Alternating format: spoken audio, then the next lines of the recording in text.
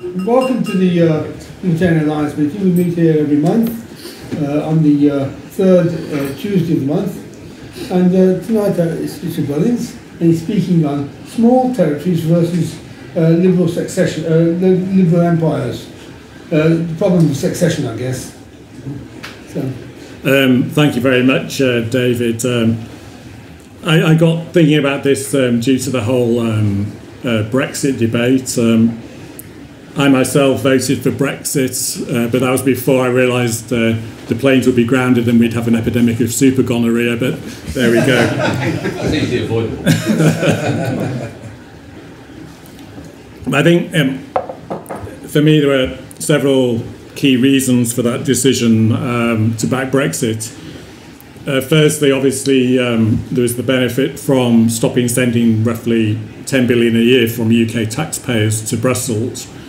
Um, secondly, uh, there was the prospect of freer trade with the rest of the world, getting rid of this protectionist racket, which is the EU customs union, and, and through that also benefiting um, developing countries by getting rid of these protectionist barriers. It's not obviously not just the tariffs. A lot of the non-tariff barriers are far more serious. The uh, regulatory hurdles that the exporters have to pass. So this is potentially a huge, huge benefit from Brexit. Um, thirdly, and probably the largest kind of medium-term economic benefit would be um, domestic deregulation. So by leaving the um, European Economic Area, the single market, um, getting rid of all this absolutely horrendous um, EU red tape. And a lot of people are skeptical about this because unless you actually work in a particular industry or you've studied a particular sector of the economy, people just don't have a clue about how pervasive all this regulation is. It's it's really really terrible. So it's you know when someone in, in Cornwall can't afford to pay their water bills because it's you know 500 quid a year for a one bedroom flat, that's because of EU regulation pushing electricity prices up. One of the craziest ones, um, one of my favourites, is the um, EU biofuels directive, which across the whole of the, the block costs something like 15 or 20 billion euros a year, so quite a lot of money. It means you have to have a certain amount of uh, biofuels in the in the mixture of your, your petrol and diesel. And the uh, European Commission's own study actually found this was um, increasing CO2 emissions because it was causing Filipinos to you know, slash and burn the rainforest. But of course, by the time they realised that, they'd already created this vast biofuels industry that was processing the stuff, and so they couldn't actually go, roll back the regulation. So you know, we're with this. But it's just it's just typical of the kind of thing we get with uh, with Brussels. Um, obviously, the question is. Will um, will the UK governments actually rescind a lot of this stuff, and that's where a bit of pessimism sinks in. But you'd only have to get rid of quite a small percentage for there to be major economic gains just the really crazy stuff in, in effect. but finally, I think this is a, a neglected um, point, but I think there's also a kind of long-term uh, geopolitical rationale for, for Brexit, and that's the obvious development of what has been called an EU superstate. Effectively, you could almost call it an empire, but it this um, process of ever closer union with more and more power being drawn into the, the centre of, of Brussels.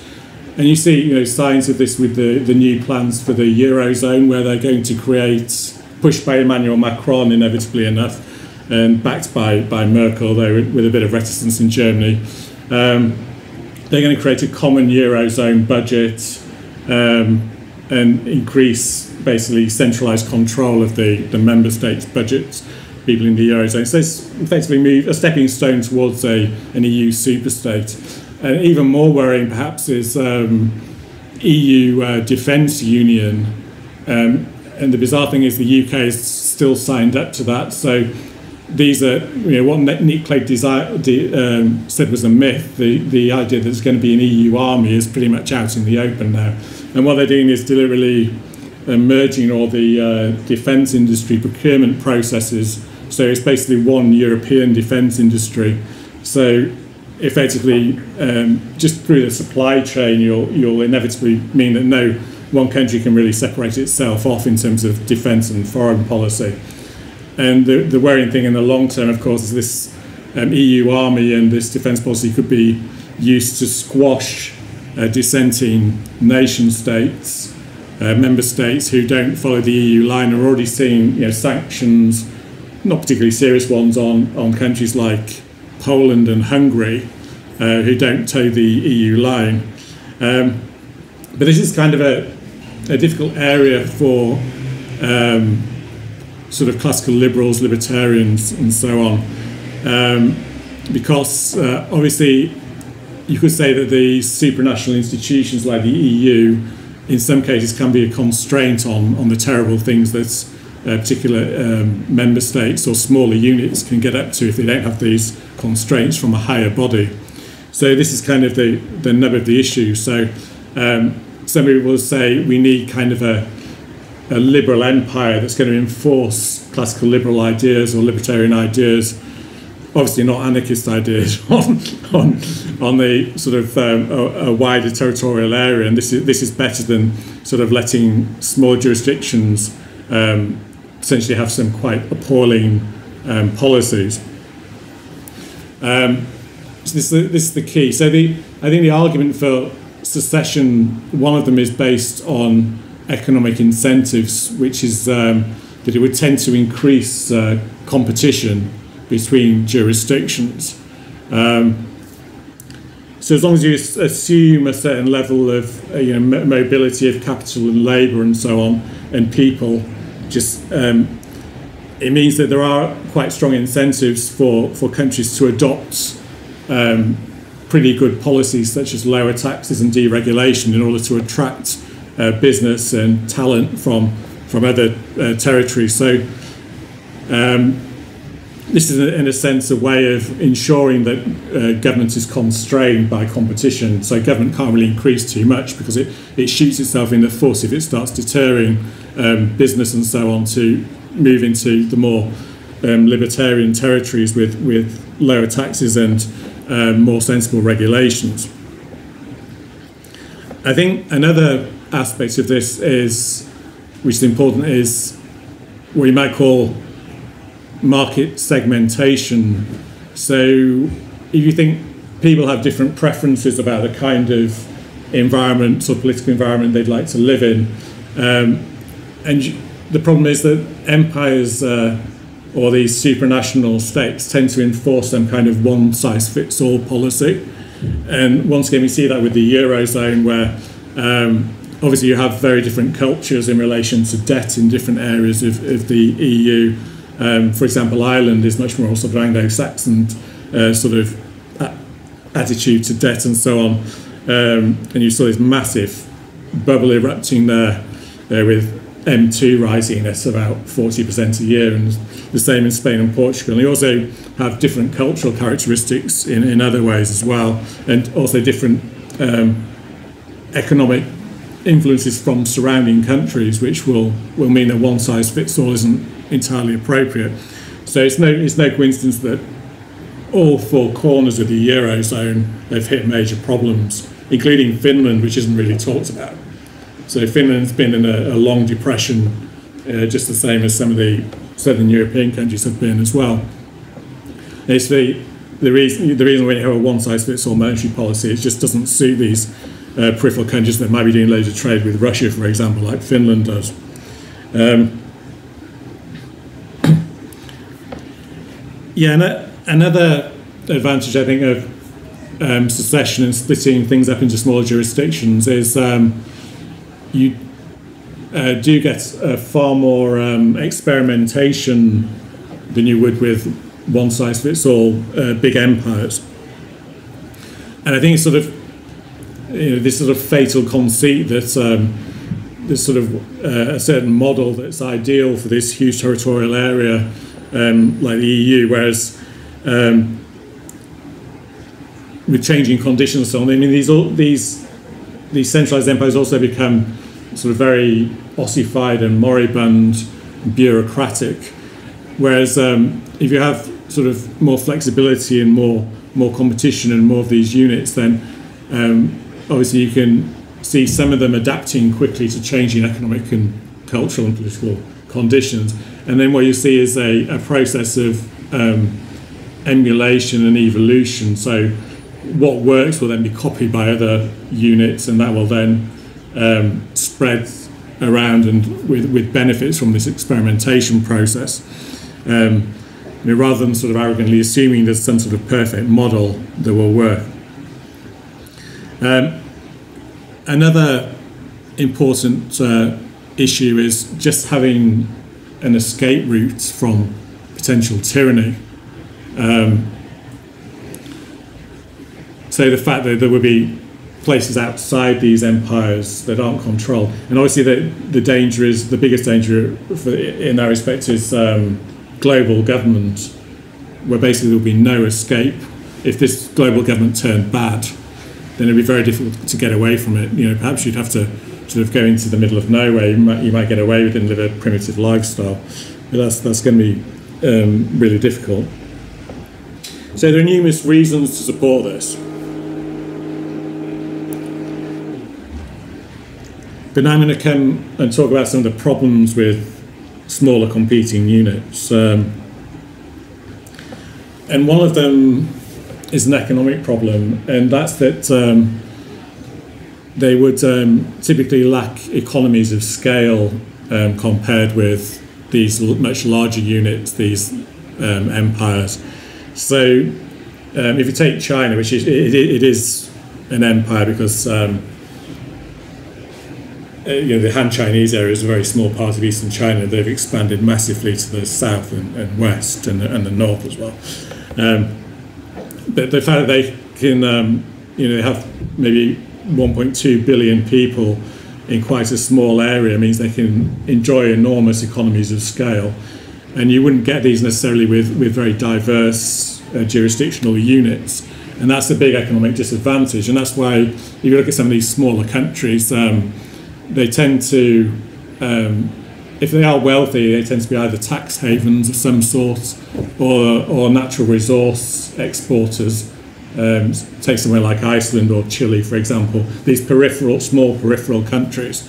Um, if you don't have those sort of advantages, then potentially you're at a massive disadvantage not having these economies of scale. And also the related issue of agglomeration economies, which are where you get these clustering benefits of having lots of industries and firms in close spatial proximity from one another. Um, and once again, you know, some, some, somewhere like uh, China has these uh, boatloads of this. It means that you, if you want to produce some sort of complex product, you can get all the subcontractors uh, in from your this one territorial unit with, with low friction. Um, and this is also a massive uh, generator uh, of wealth, which is a massive advantage that, that empires get. But more than that, I think uh, a bigger worry. Um, oh yeah, I would say as well. If you do have some sort of um, enforcement of consumer preferences. So, um, if you think about these sort of big government systems, they um, they kind of force uh, consumption into a fairly narrow channel. Something like housing or transport is more or less centrally planned, even in quasi neoliberal economies. And this is a way of uh, this is also related to the economies of scale as well. Whereas you have much more um, dispersed preferences in a, a, freer situation with lots more variation between units, you wouldn't necessarily get the this um, economies of scale in consumption. You know, the extreme, you had East Germany where you were only allowed sort of one type of chair and one type of car and one type of, uh, and obviously that had its problems in itself. But nonetheless, there are these issues with economies of scale that you won't get. Then the, there's the issue of trade as well. So um, we talk about um, a system of free trade in a liberal world order, but of course it, it isn't free at all. It's based on um, massive coercion, government coercion on a grand scale. And probably one of the worst examples is uh, you know the Suez Canal, which transits around um, a billion tons of uh, no sorry it's yeah it's a billion yeah billion tons of goods a year, and that was built with slave labour by the uh, colonists, uh, with 120,000 slaves being killed in its construction. And so, if you're going to have these long trade routes, then inevitably you, if you're talking about sea routes, you're inevitably going to have to have bases along the, the trade routes in order to secure these, um, you know, the ships and to refuel them, etc., etc., in a sort of long-term secure way. Hence, you know, Singapore and Hong Kong and those sort of colonial outposts. So you, uh, this sort of uh, long-distance trade is basically intertwined with empire almost inevitably. Or if you think about land, um, land trade routes, uh, think about uh, you know, a country like Russia, um, where it's basically um, boxed in by um, other European countries and has very poor access to warm water ports. Um, in that kind of situation, um, and also you know, vast areas of landlocked territory as well. Once again, that means in order to secure trade routes, access to the sea, um, it's going to massively encourage uh, these vast empires as well, just the logistics of that. So if, if, if they're under threat of being boxed in by um, Western European powers who are hostile, um, and Turkey as well, obviously because of the access to the Mediterranean, then that explains why there's this massive impetus, even though it's hugely expensive to build the Trans-Siberian Railway, um, using basically serf labour to get access to the Pacific. And during World War II, that was probably what saved them. So it was a rational, rational thing because that's vast amounts of um, food and material came over that route from from the US. So once again, this is a problem. If you these countries were fragmented, these big landlocked countries were fragmented, then it'd be a massive problem for trade. Um, and oh, okay, you could try and um, you know come up with some sort of voluntary agreement, but then you're sort of getting into sort of EU territory that has incentives, public choice incentives to centralised power because the bureaucrats want more power. Um, it sort of becomes a uh, sort of de facto empire by accident anyway. So th- that's no solution really. Um, so this is this is another difficult problem with the secession argument. But obviously that only applies to certain regions. It wouldn't necessarily apply to islands that have um, access to the sea. It also is contingent on a certain level of technology as well. Um, for example, you know, rail is a dominant mode of land, long distance land transport. But I think um, the really, really um, difficult problem with these smaller units is um, you know, how on earth can they defend themselves, assuming that um, you know, much of the rest of the world is dominated by large empires.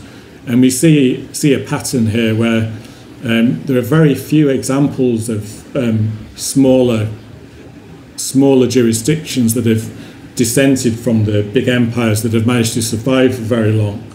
Um, so, you know, one example is maybe um, Afghanistan, uh, but that's got a particular, particularly uh, difficult terrain for any invaders. It's known as the graveyard of empires. Um, but he, clearly, Afghanistan has paid a very, very heavy price in the long run from uh, for maintaining its independence. Um, you see, you know, um, any sort of African country that tried to um, try to free itself from uh, near imperialism uh, basically found itself being crushed by uh, puppet neighbours, uh, you know, the Western intelligence agencies who you know, deposed the uh, dissident leader.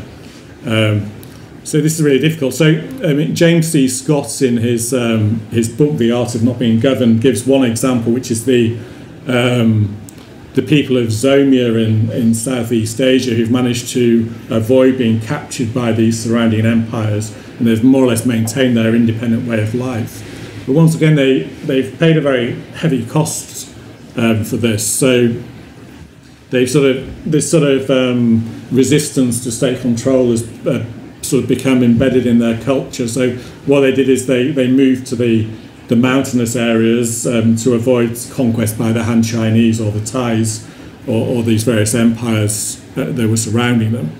Um, and they also eschewed uh, uh, literacy uh, so they couldn't be sort of measured by these governments, and uh, adopted a semi-nomadic lifestyle. So they couldn't really be pinned down. They'd move from you know, one area of forested mountain to another area, and in this way they could more or less avoid problems being incorporated into these huge empires. But you know, the question is, I mean, there are, I suppose, North Korea's perhaps, I mean, I don't you know, sub, uh, support its particular political model, but that has managed to resist for a very long time. It, is that really true, though? Because it's basically being supported by its big brother in China. Uh, if it hadn't had the connivance of, of China over the years, which is still going on with the, you know, the, the trade the trade and so on and the use of North Korean workers in return for remittances, I don't think it probably could have survived. Um, um, you know, some of these some of these very mountainous, remote countries perhaps can resist. But let's um, you know think about some sort of libertarian utopia.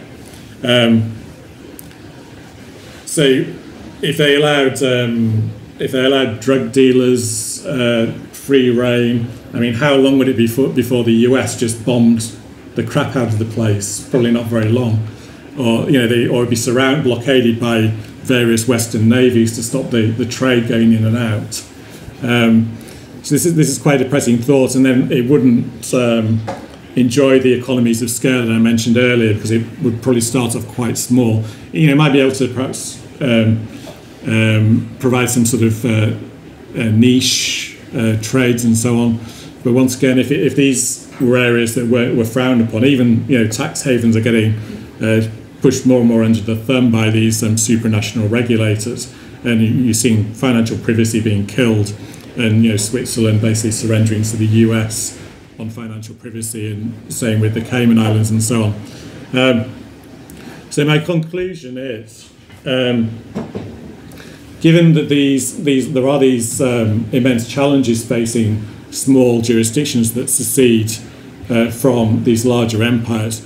I think really, um, in most cases, uh, I mean, given the um, given the uh, the challenges they face, I think it, in most cases they would need to be a certain sort of size before they could manage to sustain themselves in the long term. Because it would be pointless to secede from one of these empires just to become sort of absorbed in a much larger power. And I think this is a problem for, for Scotland, Scotland, actually, given the weakness of its economy. I think the chances are that um, if it did secede from the UK, it would just become basically a puppet for either the EU or, or you know, basically the, the continental powers, which it, it used to be before as well, before, before the Union, uh, you know, the old alliance with France, for example. So I think, yes, secession is a good idea, but basically the, the new units that are formed from it need to be of a certain critical mass so they can both defend themselves and also um, um, exploit these economies of scale that are necessary for a, a healthy economy. I'll end it there. Thank you.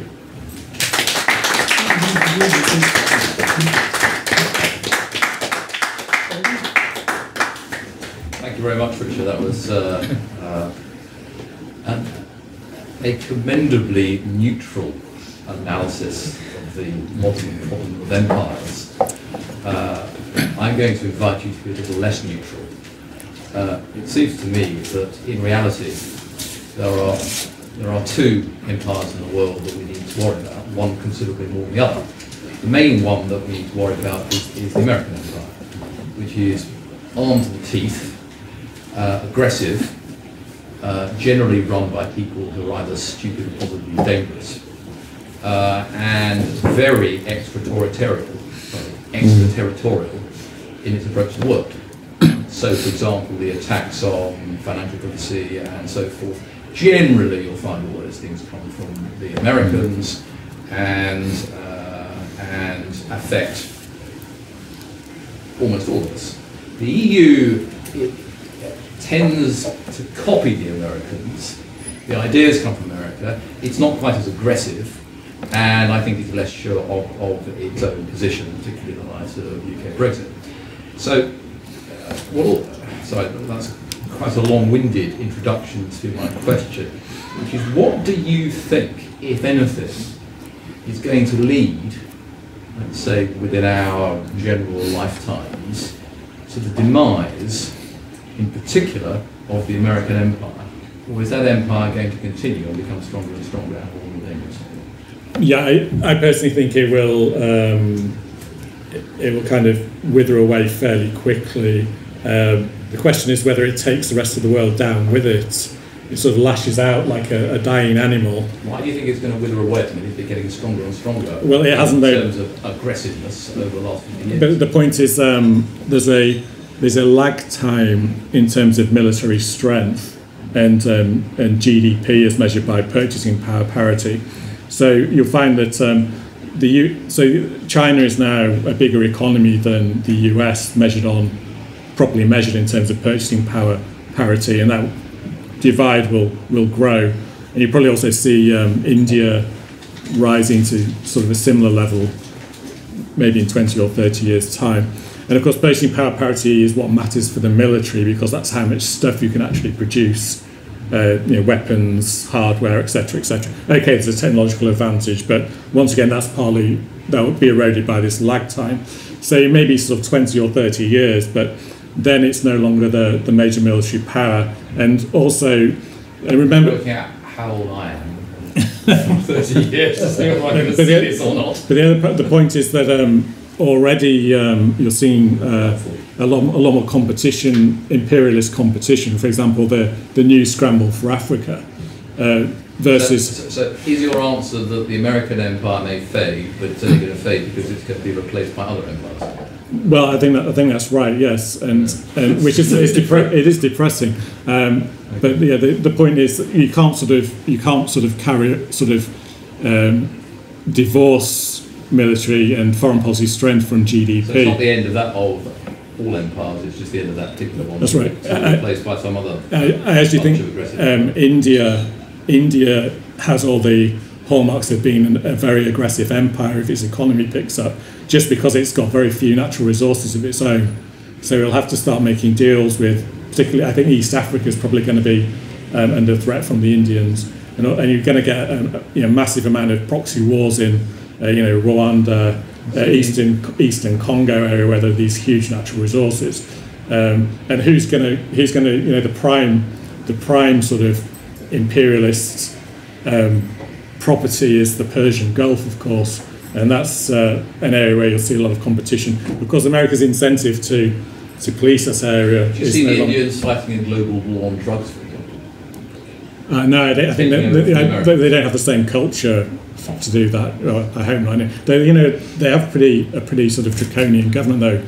You know, this borderline police state with all this, um, you know, enforced ID cards and banning cash, etc. So there are already worrying sort of developments in India.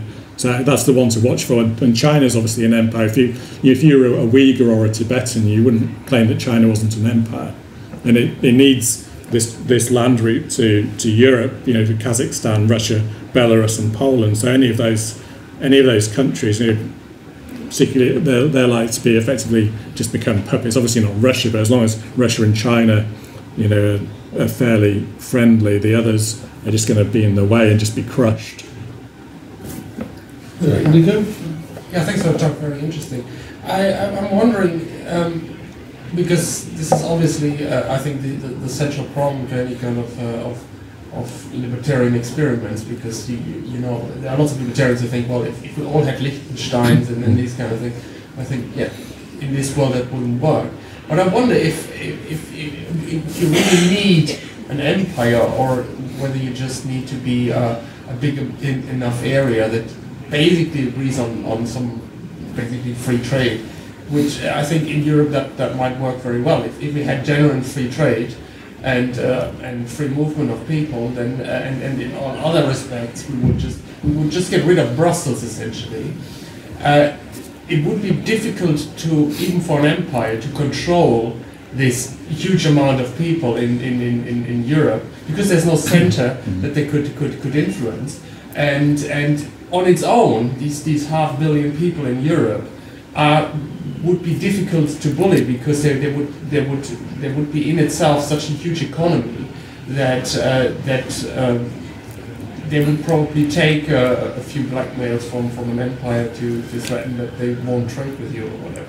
I think I think the problem with that is that if if um, certain countries um, decided to um, adopt sort of anti-free trade policies and rebel from that Yeah. loose knit union, particularly if say if um, if Germany did that, um, and that's kind of the keystone in a sense, it's a natural core of, of Europe. because um, all these countries to the east of it, in order to get their goods to Rotterdam, also the and the you know the main trade routes, they have to they have to pass through Germany, which is why it's the natural um, dominant player in in Europe. Um, so if in that situation, or even if you know a smaller one that has some sort of strategic significance, dissented and started creating these barriers, and then you know some, say some some of the landlocked countries like. Um, um, you know, um, Slovakia or, or Hungary were basically trapped, then you start seeing the incentives for some sort of far more draconian type of um, uh, empire, effectively, that has to crush these dissenting countries, just basically to keep the sort of basic economic structure afloat. But, but the EU doesn't seem to solve that because Germany obviously is also in the EU a very big player. If Germany decides to get out of the EU and, and close borders, it's not much the EU could do against it. So either Germany uh, accepts that this order, that some kind of free trade order is, is good good for for it, or um, or, or it doesn't. And That's right. I think it has to be grounded in a in a, a culture of, yeah. of you know broadly pro liberty culture, and that's a, obviously a problem. Um, and then if you know some countries aren't like that, say Southern European countries don't have that same culture by a long shot. I don't I don't like these. Um, economic freedom indexes. I think they're very superficial in many ways, but all these corruption indexes or etc. But you know the, the differences are horrifying between uh, Northwest Europe and, and, Southern Europe and Eastern Europe, which are you know, they're sort of mid-table in terms of these corruption ind- indices and pretty bad on the economic freedom indices. So yeah, if you don't have this shared culture, then you have a you know sort of a, a liberal a liberal elite trying to then crush these non-liberal countries, because they then lose their liberalism. These elites because they're engaging deeply illiberal policies to get their own way. That's the that's the problem. Any other? Yes. You want to speak? Yeah, yeah. Uh, actually, I'm myself from Belarus, so I know quite a lot about you know separation by big empires, and what I can say about this is that um, like a small player on the map, like Belarus, can observe this tendency to be uh, economically controlled by uh, big states like Russia or China, because what I can observe now from my own uh, uh, country is that we are deep in debt with Russia, and we are selling our land and property to China and Russia because we're right in the middle of between eastern and western mm. blocks. And the big problem is that smaller players on this map, they are all they a strong economy to protect themselves with these economic ties, so they can't be attacked because they're economically important, or they have some nuclear weapon to protect themselves. So if you can't really protect yourself with economy or weapon, then you are just ruled by all this power quite very easily. And it's like uh, Belarus ruled both, even tries by Russia and by Germany because we got these tubes of gas which moves through us in mm. Germany. So we need to submit to both Europe and Russia. And now China appears as well, and they're just buying our land and factories to make cheaper goods and sell them to Europe faster. So our country is really like a, I'm sorry, like a prostitute, you know, on this map. And it's not funny anymore when you are actually living there. And uh, to to protect and you know like to keep this country submissive they need to eliminate our culture so like i myself will be speaking russian all my life so we got our language but i've been speaking russian all my life because that's, that's how they do it and i myself uh, hard to say if i'm for national state or empire because it's a complicated question but what i can observe um, is that empire demands total elimination of culture and um, you know this individuality of the country. So of course they grant you power and protection, but it's more like you know wrecking exactly. Yeah, think that's absolutely fascinating. I, I didn't realise that that was. I knew that about the Russian influence, but what you said about China echoes what they're doing in, in Africa where they're you know they're um, buying vast amounts of land and also putting these cheap loans out. Effectively, they they use these to basically pay off the elites in a lot of con- countries like Zambia, Um, and then the you know, people of Zambia, the taxpayers, are lumbered with these massive debts and are basically in, in hock to China ad infinitum for these new infrastructure projects. Um, and it's, it's kind of just a, another another form of imperialism, uh, but by a different uh, imperial master. But yeah, and the problem is, as I said, especially now um, Ukraine is um, after the putsch in Ukraine, uh, backed by the West. Um, obviously, Belarus is now part of this very small number of countries uh, to link the you know the two uh, natural cause of the global economy, two of the three natural cause of the global economy, which are Western Europe and Eastern China. So uh, it's inevitable that any any country along that new Silk Road is likely to be crushed by these huge empires, including the EU potentially as well. So Poland has Poland, I, I suspect, as historically has always been the problem, is, is once again sort of in the middle of these these huge power games between the empires. Uh, Bob and then David. I'm not an imperialist, but um, one can say that the British in India, for example,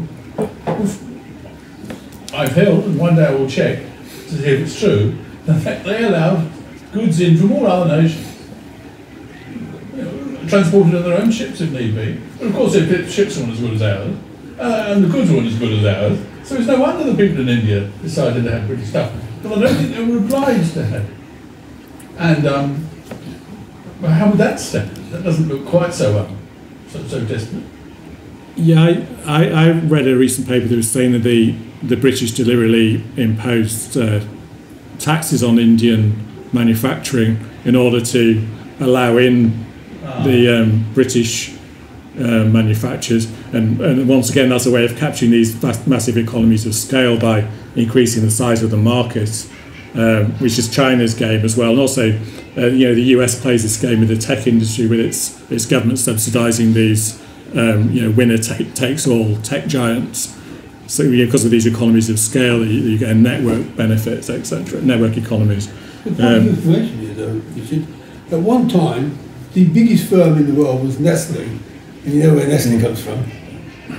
Switzerland. Yes, it's one of the smallest firms. So you can get the economies of scale in a small.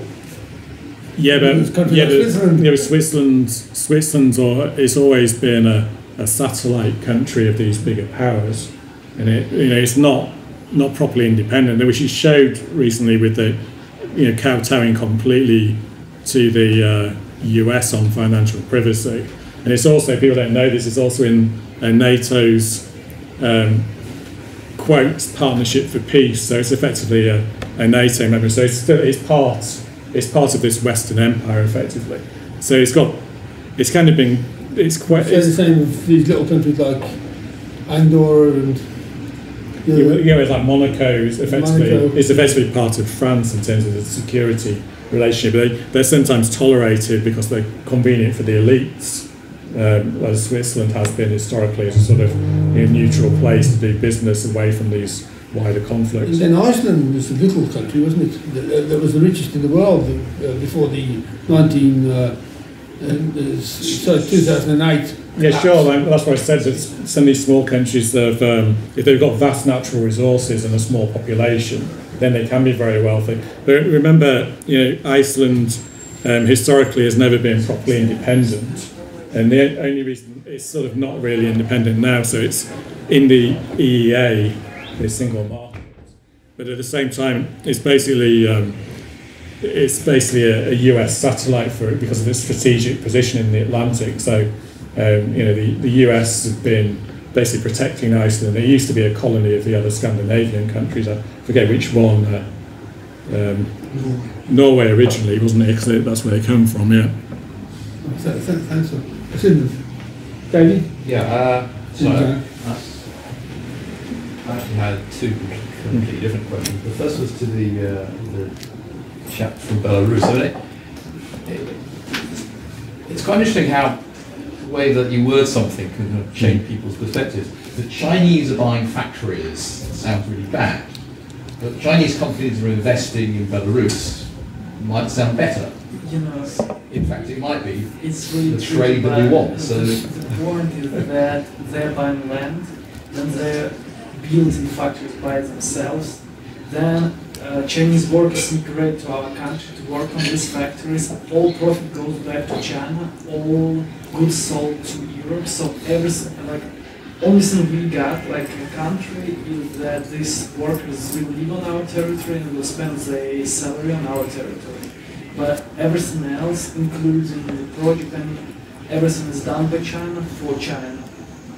And all we got is that they will forgive us some debts. So you can say, yeah, they're investing in us. Maybe one day we will like privatize these factories and say, okay, they will, they will be ours. But I don't think that country like us will say something like this to China. It looks more like uh, conquest, economical conquest, because uh, years ago we got almost no other people but Belarusians. Last summer I've been to Belarus, even on my own neighborhood. I've seen uh, Chinese people. I've seen opening like Chinese restaurants and some teenagers uh, who were talking Chinese around, and I was like, what, what's going on? It's, it's strange. We got some Chinese inscriptions on our roads, and um, maybe, yeah, they're investing, but they're investing in themselves. They're not investing in our country in particular, because we've got like 10, maybe 15% from this investment, but mainly they just invest in themselves. So, where, so how the factories get built? Where, where does the electricity come from? Where they spending salaries? Where does the food come from? Yeah, this this I said, but it's like 10, 15 percent, maybe maybe more. I I'm not so sure. I, I never seen this number, but uh, The point is they, they, they, they invest in loss making stuff that doesn't make any economic sense, but it does make sense when you think about the geopolitics. So they invest in these crazy railways in um, province in the middle of the Gobi Desert. You think, why on earth are they doing that? But it's, they're doing that because of their long-term geopolitical you know, objectives. The same in Zambia, these crazy infrastructure schemes there, and, and Tanzania. So if you look at the passive investment, it doesn't have bear any obvious economic rel- uh, rationale from a sort of profit perspective. It's all about you know, the Chinese state driving uh, this pattern of investment for geopolitical reasons. it's also about migration. Like they got too many people in our country. It's you know it's the size of UK. We got 10 million people, so like six almost seven times less than UK. And we got a lot of space, and people are migrating. You know, they got jobs uh, in our country. I should buy land. I mean, If, if, if, uh, you finish, Dennis? John? Uh, and then Mr. Davey, and then Bob. Rather than looking at this from the point of view of people seceding and how economically viable they could be, uh, as long as they had some military alliances, presumably. Uh, what about expelling parts of the country which are a bit of a pain, but and dragging you down? Don't mention Liverpool. Liverpool is on my list. Only Scotland is number one. Scotland? Yeah, so you could have a referendum about kicking bits of the oh, UK Yes. out. Yeah, yeah, yeah. not, they, not, they don't just have a right to decide whether they want to be in or out. We have a right to decide whether we want to kick them out. The, the, the, the problem with that is um, this sort of idea of natural boundaries, and there would be these economic externalities in terms of defence if you didn't have control over the whole of the coastline for, for an island. So if they became, let's say Scotland had become was independent during World War II, that would have been an absolute nightmare. It would have had to be invaded like uh, Iceland was because of its strategic significance at huge cost. And that's if you know the German paratroopers hadn't already landed there. Well, we can, we can protect them, but it will cost them in taxation. They just don't won't get any handouts. Well, well, this is this is the sort of bargaining thing with England and Scotland. You know that um, England basically pays because of the, the strategic significance of Scotland. And Northern Ireland as well. Uh, well, exactly because it means that they, they if if the whole island of Ireland became a sort of vassal state of some hostile empire, it would be a, a nightmare for uh, Britain. Full defence, isn't it? Um, this guy here, Sure. and then, and then, and then you. Oh, the gentleman from Belarus is gone. Yeah, we- he went to the toilet. Oh, so you can move on to someone else, because Okay. my question was for him. Okay, right. It's partly related to that, though, more generally. um, people think that the only good that comes of um, companies are wages and profits and dividends. No, the good that comes from companies are goods, things that, things that are made.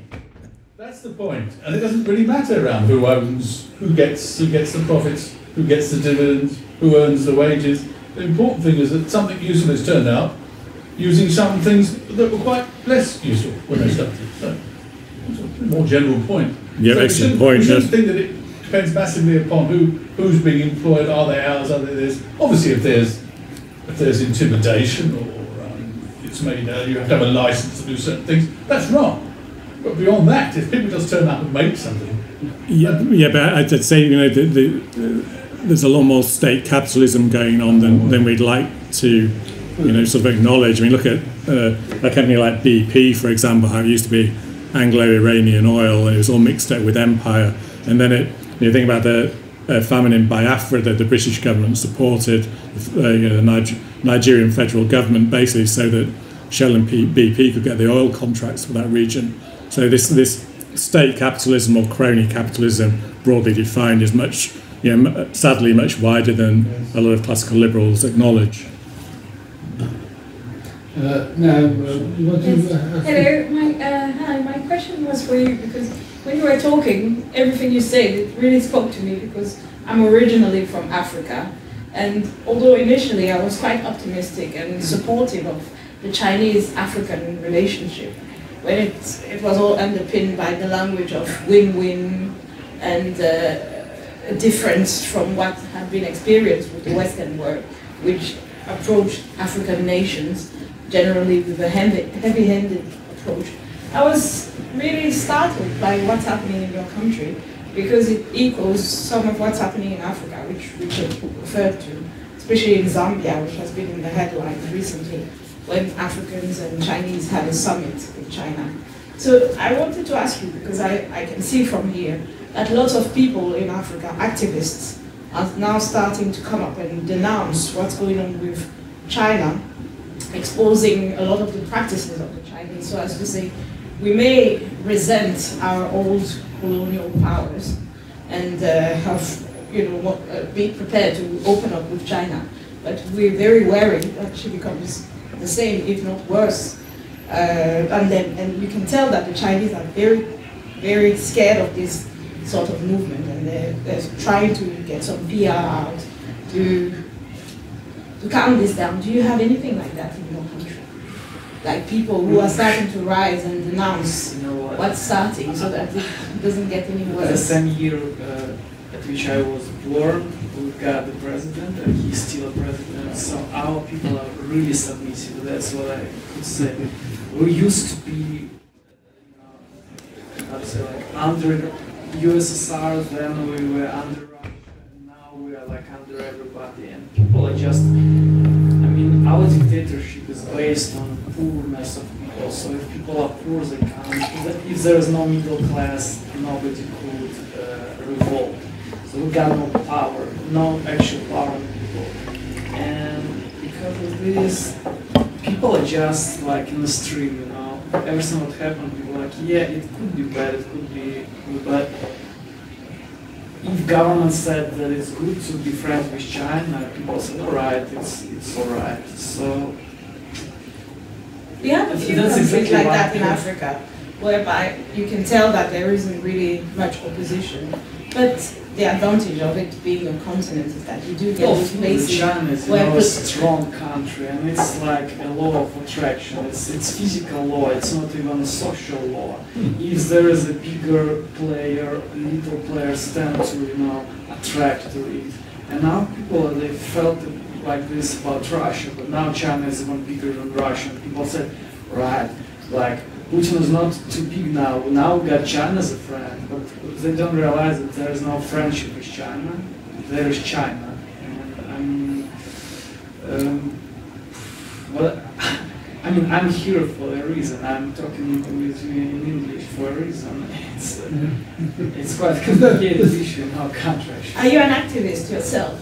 Um, my family is involved in politics some way, but I myself is neutral as possible because I see like the more I study politics, the more I understand countries just uh, pursue their own goals. They're not trying to, you know, like, uh, they're not evil. They're just for their own interest. It's normal for human beings. If you could, I would pe- perhaps recommend that you invite the people of your country, if you have connections, to look very closely what's happening in Africa at the moment, because it's an interest, interesting place to observe what China might become in the years to come behind all the rhetoric of win-win and a different way of doing the economy and all the rest of it.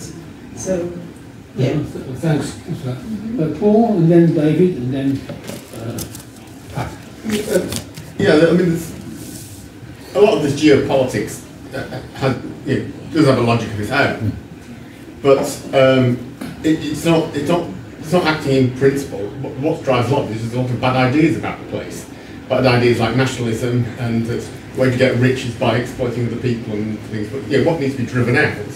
These bad ideas and good ideas about individual liberty and free market and security of property rights is about yeah the Brit- Britain sort of led the way in this originally it became corrupt socialists arrived telling us wrong things but um, among others but uh, but yeah the, the fact that Britain was a sort of fairly liberal country and had a, a fairly liberal empire an imperial instinct itself not necessarily uh, liberal but uh, the idea was free trade security of property rights not everything utterly corrupt and bought off it's these bad ideas that need to be driven out. A lot of bad ideas have been driven out. Communism, which actually dominated Russia and China, where actually millions of people are starving to death and all over the place. So things are much better now.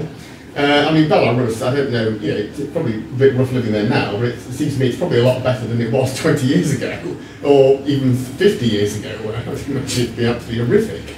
Um, and uh, the countries, so, yeah, the, the European Union, it's driven by a lot of bad, bad and silly ideas, not the worst ideas in the world, you know, relating to probably North Korea maybe, but we've got to drive out the bad ideas. There is a security problem, but the more other people adopt similar liberal ideas, the less we need to worry. We don't, we don't defend ourselves particularly against the Americans uh, in any kind of military sense now. Of course, the Americans have got bad ideas about extrajudicial, but it's, yeah, America is a country where Ron Paul does get quite close to, you know, he runs for the presidency, and he says what's wrong with all this. The ideas are there in America. It could stop, you know, this sort of silly neocon policy and become more libertarian.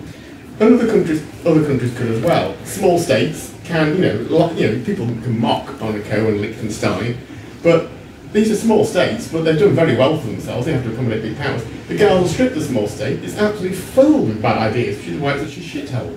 There's no reason why two little strips on the Mediterranean couldn't equally be really prosperous. The Gaza Strip could, if it had a complete change of ideology and mind, become a super little, you know, tax haven for the world's rich, have some yachts there, you know, a few drinks in a Grand Prix, you know, sort of a casino. They could do all of that, but they don't, you know. They're, But they're not allowed to, Paul, are they? They're not allowed. They're blockaded. well, they're blockaded. they're blockaded because they don't do that. If they said this is what we're going to do, they wouldn't be blockaded. So it seems to me it's bad ideas rather than anything intrinsic. Yeah, but there's, there is a logic of geopolitics, but it can be overcome through better ideas. Yeah, and I'd agree with that. And of course, the um, the fall of communism is a, great example of where this jurisdictional competition is really important. It really um, illustrates the point because East Germans were looking over the border and seeing, you know, the same basically the same other Germans who were four or five times as well off as they were. Um, so you know that, that's why it's so important that you do have this jurisdictional competition. Where I would disagree with you though is about the about Britain because it, I mean, come on, this so-called free trade was just brutal empire in practice. So that, that was the downside of the liberalisation of the corn laws because, uh, of course, it meant all these provided massive incentives for um, these uh, genociders to go off to Argentina or, or the US and turf the um, Native Americans off their territory to create these massive farms to export stuff to, to Europe. Um, so you know, it was a, it was a, it was a brutal empire. Pro- property rights were, weren't too bad. Well, even even in the UK, I mean, you had the enclosures and you and you know the, the peasants being tur- turfed off their land and all the rest of it. So it was property rights for the elite, but Yeah, it's it's true, it's true but, but slavery was defeated through genuine moral horror in this country. uh, before anywhere else. You know, long before the seceding United States got around. I mean, back 50 Yeah, years it took them to. Yeah, but the problem is. The problem is the um, you know capitalism had um, industrialized slavery on a on an unprecedented scale before that. So you know there's the uh, it was you know the but on the plus side you know, the the ideas of classical liberalism the um, you know invisible hand type ideas did feed into that that, that great reform eventually. David? What do you think, you think uh, Pat? Yeah, uh, just on what we were talking about, about in- investment, Ch- Chinese involvement and investment in uh, Africa and Belarus. I mean, we invited the, the Chinese government here, the, the, the, Premier come here. We were begging for uh, involvement here. And indeed, uh, some of the uh, HS2, uh, the, mainline is being uh, financed with Chinese money. Uh, we're begging for investment. I mean, if, if Africa and Belarus, Belarus don't want Chinese investment, this country would soak it. And they have. Yeah, sure. But it's, it's, it's less of a problem though because obviously you've got a much uh, deeper uh, and larger um, you know asset values in the UK with it being a, a bigger, richer economy. So the, the chances of it being sort of uh, incorporated by some sort of neo-imperialist strategy are much lower than it is for smaller, poorer countries. Bob? Speaking facetiously, um, the, Isle of, the Isle of Wight is rather the same size and shape as, as, as um, Singapore, and it might be ceded to the Chinese for a hundred years or so. Yes, it was, it could be, yeah. They pay up front. Yeah, that's uh, Well, well, the, the, the Greek government was, was seriously considering selling off some of the Greek islands to Germany, actually, on that basis. I don't know why they didn't, because they're not being used. Except for the people living there. no one's living there. Not living there. yeah, yeah, good, good point. Anyone else? Tom? Just, just a small point about. I, I think uh, colonialism is different when you. You talked about Ameri- Native Americans uh, being displaced. They didn't really have any concept of ownership of the land. They didn't have cities and, and they, they were nomadic. And so I think that's completely different to displacing a people that lives in a fixed place. I, I really do think that's a completely different thing. So, so when, when, when the Europeans went to America and established fixed settlements, I think that was morally okay. Although I, I don't believe that they should have persecuted the natives, but they didn't really have any concept of ownership of that place. Yeah, I mean that, that's the problem with with um, sort of imposing a, a sort of European Eurocentric model of of property there. I think because they did definitely have well-defined territories, as you always find with these you know hunter-gatherer type societies. So they did effectively, you know, with the other tribes, they had fairly Sure, well sure, do you not see the difference between displacing these sort of people don't really use the land at all? They don't make the best mm. use of Yeah, it. w- they, versus- they made them. But well, you just- you're you're saying what's the best. You're you're deciding what's I the best it be use. as, as They're productive and using. support as many people as possible. That's that's the best use for land. Well, they they they might prefer to to be poor but Battery, happy. battery cages. Yeah. Churn those humans out. No, but don't you see the difference? I think I think there is a moral difference between the two. No, no, I think that's just sort of Really? yeah, So- just so applying. we, should, we should never have America and Canada and all, all of that would never have been created if, if, if Europeans never went there and and, and well, if they, if they if they deployed the non-aggression uh, principle, they, they wouldn't have been Sure, but- they wouldn't have been giving the, the Native Americans uh, blankets that were infected Sure, with but the natives didn't have an immigration policy either. They weren't accepting of foreigners. They they were savages and they, they attacked them in a lot of places. Well, yeah, because they were they were entering onto their territory. It's like you know attacking a burglar, basically, isn't it? Sure, they didn't have a concept of maps or, or anything like that. They just had it wasn't it wasn't a sophisticated society. But they had a concept that this was their territory and someone came in. Yeah, and That is was trying to kill them. Yeah. Surely that, surely that, in a sense, this debate is, is sort of missing the point, which is that you you can certainly come to a place like North America as it was in the late 18th century, early 19th century, and offer to trade and. It, it did that as well. It wasn't They- just British. well, They well, yeah, for a well, couple of yeah. beads or something. Well, okay, okay, fine, but you know, I mean, these things aren't easy. But you know, it's it's not that the choice is between nothing at all and never stepping foot in North America and killing everybody. You know, there, there, or, or- I mean, there are kind of well, I mean, uh, until, until about uh, 1875. it was the mid gun- to late 19th century. Well, until Correct. about 1875, the gun was Yeah. less efficient than the longbow. And not longbow, the actual Indian bows. But Pat, Yeah, I- I'm just going to, yeah, I'm just going to come down to that, that point. I mean, it, it just builds on technological advancement, doesn't it? I mean, the, the, even the early colonists in, in uh, well, right over the Americans, I mean, most of them were wiped out. Certainly the British, the British ones, it- and they just disappeared. And no one's ever heard of them. The, the first colonies. The same happened in South America. But you go back to, I mean, the Vikings tried to, even the Vikings tried to establish colonies in the Americas. no, the, Vi- you, you I mean, the, the, see, the new idea, again, I'll, I'll touch on talking too much here, but let, me just say this. The new idea that arose in the late 18th century was looking back to the, to the mother country, and we can call that idea the idea of colonialism. Now, when the Vikings went to America, they didn't look back. I mean, and, and 1066 illustrates this. Uh, you had the Normans, who were completely alienated from the Vikings, who invaded England in the north of England in 1066. So we, you know, so uh, Harold fought on two sides, the pristine Vikings and the Norman French, and they were kind of like, because they didn't look back. The, in the 18th century, they started looking back to the mother country. That's when you had development of colonialism. Yeah, the point I was making is it, not, whichever way they look, back or forward or sideways or whatever, they didn't have the technological advantage over the native Indians at the time until, well, well, well until, uh, you know, America was, was first discovered. Well, I mean, the gun, By the, the West. the, the, Yes, the, the, gun couldn't have the, Explosives or the, something. the bow. It was Yeah. surprisingly late, but so I'm talking. But too even, much here. even, even with guns, it, it, that wasn't much of an advantage anyway, because the colonists that were wiped out actually had guns. They had firearms, but they were still all. all No, I'm saying the, the, until about 1850, uh, 1875, this is a surprising thing, but it's in the study of history by Toynbee, and I guess it's right. It's a paradox anyhow. It was, even if it's wrong, it's an interesting, wrong idea.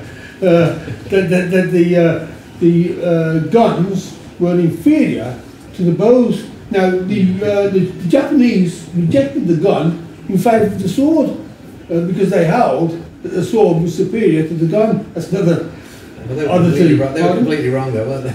Well, uh, not, not really. I mean, they, they, they didn't lose out through that, and nor did the Red Indians lose out through that. It was, Just only, that- after- just it was only the Winchester 75 that, that, that, that, that uh, the uh, settlers on What you're par talking- with the what you're- you're talking about is that terrorist insurgents who know the, the area and you've got someone who doesn't, you know, and they're overwhelmed by locals. That, that, you- We're talking about the efficiency of the bow. Uh, the efficiency of the bow uh, was. But 100 men in the field with bows and efficient- guns, the who's gonna come out on the top? The efficiency of the No, bow. it's not- that's hang on, let me just say this. The efficiency of the bow in North thank the America. uh, speaker. Um, Sorry. The efficiency of the bow in North America repeated the efficiency of the bow in, in the Mongol, from the Mongol Empire. The- the- Sorry.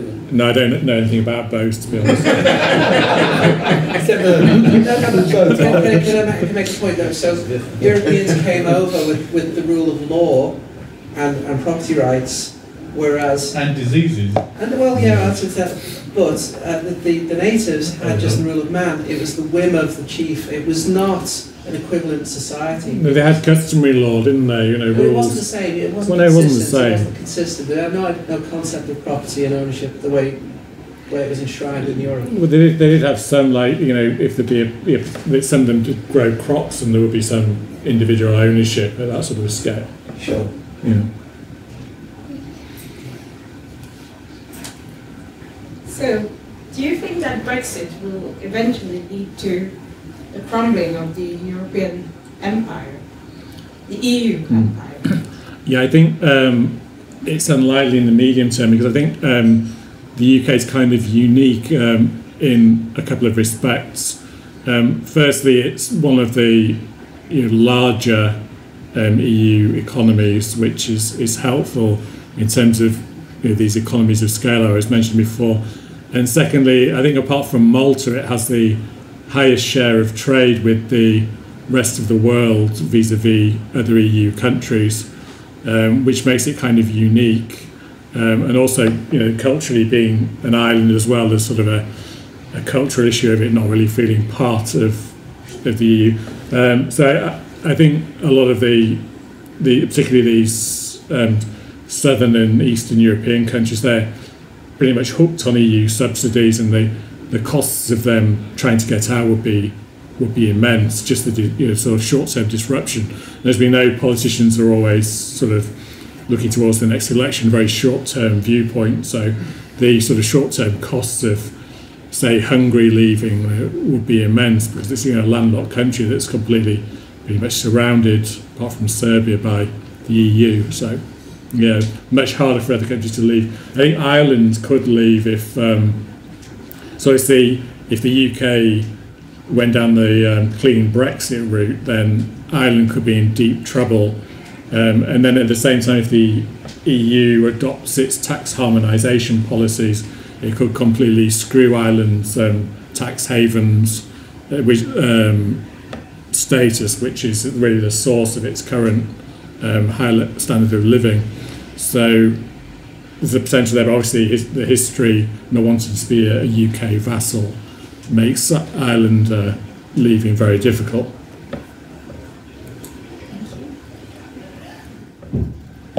We might see the Irish voting to join the UK. Yes, I can't see that happening because of their history, but I think I think because of the um, the, the only danger is if the EU go down the tax harmonisation route, that could be deadly for the Irish economy. But I think that they'll probably give the keep giving the Irish a sort of turning a blind eye to the Irish situation because it's you know, for political reasons they don't want anyone else to leave. Anyone else? Shut the book, Richard. Thank you. Thank you very much indeed.